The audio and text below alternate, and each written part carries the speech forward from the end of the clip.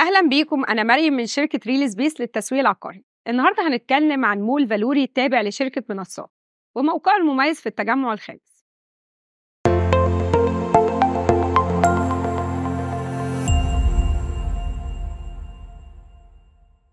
المشروع على محورين رئيسيين وهم محور طلعت حرب ومحور جمال عبد الناصر. المول حائز على أكبر واجهة مشروع بالتجمع الخامس بعرض واجهة 170 متر. على المحور مباشرة بكثافة سكانية تتعدى 300 ألف نسمة بمنطقة الدبلوماسيين والنرجس والنرجس الجديد. المول هيكون فيه أول 3D screen في مول تجاري بالتجمع الخامس.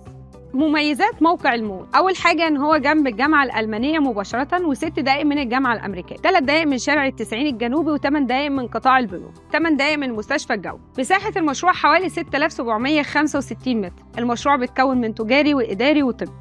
المشروع عبارة عن دورين أرضي وأربع أدوار غير الجراشات، إحنا عندنا أرض منخفض وأرض مرتفع زائد دور أول دول بيكونوا تجاري، الدور الثاني والثالث والرابع هيكون مكاتب إدارية وعيادات. المشروع حوالي إجمالي عدد الوحدات اللي فيه 450 وحدة. بالنسبة للمساحات إحنا عندنا التجاري بيبتدي من أول 30 متر. بالنسبة للعيادات والمكاتب من أول 35 متر. بالنسبة لأنظمة السداد فهي بتبتدي من أول 10% كمقدم وأقساط بتوصل لحد 7 سنين. لتفاصيل أكتر عن المساحات المتاحة تواصل معنا على الأرقام الموجودة في الفيديو أو من خلال الأرقام الموجودة أسفل الفيديو.